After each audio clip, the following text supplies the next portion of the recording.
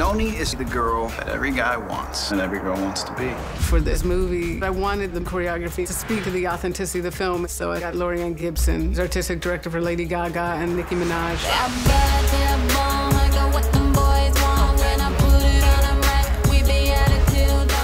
As a choreographer, I just don't want movement that has nothing to do with the story. You want to tell the story through the movement. The work with Laurieann came up with all the choreography to get the physicality and the swagger of being an artist like Noni.